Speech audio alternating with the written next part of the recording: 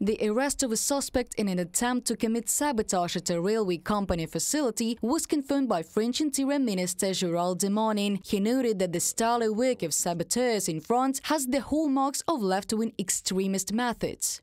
These are traditional methods of the ultra-left, and in the course of identifying those involved, some people may be linked to these movements, but I will wait until all the elements of the investigation are received. Gérald Darmanin, Minister of the Interior of France, on air on France 2 TV channel.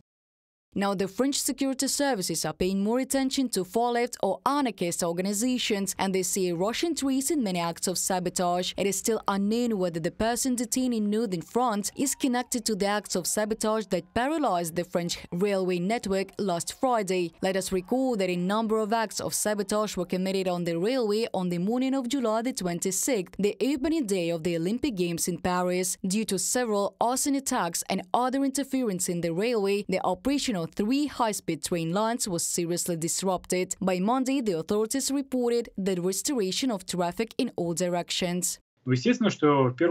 It is natural that, first of all, as practice shows, the Russians are most interested in countering the supply of weapons to Ukraine. Therefore, they are primarily interested in the railway infrastructure, the infrastructure of sea transportation, aviation, within the framework of which they again use cyber attacks. This is also a large military infrastructure, and we remember the sabotage at military enterprises in Germany. And we simply should not forget that the Russians have extensive experience in terrorism in the literal sense of this word, that is, with the implementation of mass terrorist attacks. To strengthen security in the high-speed train network with a length of 28,000 kilometers, 50 drones, 250 railway security agents and 1,000 repairmen were deployed, the Ministry of Internal Affairs notes. The security of the Olympic Games is provided by 45,000 police officers, about 10,000 military personnel, as well as special services. However, it is not limited to sabotage on the railway. A letter with powder was sent to the sorting center to the French Minister of the Interior, which according to preliminary studies contained plague pathogens. This package addressed to Gérald Darmanin contained racial insults and a black powder that was the subject of an initial test by a nuclear, radiological, biological, chemical and explosive NRBC E unit of the police, and the results are more than disconcerting. Experts discovered a slight positivity to the plague in this intriguing powder.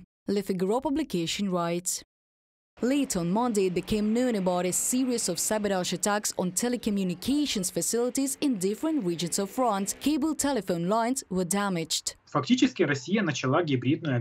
In fact, Russia has launched a hybrid aggression against NATO countries. The issue is not a disruption. The issue is to destabilize the situation, to stir up public tensions. And naturally, Russia is the main enemy of order in Europe. I hope Europeans understand this. French President Emmanuel Macron spoke about a possibility of terrorist attacks during the Olympic Games back in April 2024. He said that he had no doubt that Russia would try to disrupt the Olympics. In this regard, the French security services rejected more than 4,000 applications for accreditation for the 2024 Olympics in Paris, in particular Russians and Belarusians, due to fears of espionage and cyber attacks. Reported by Diana Kolesnik, Yulia Hranovska, UATV News.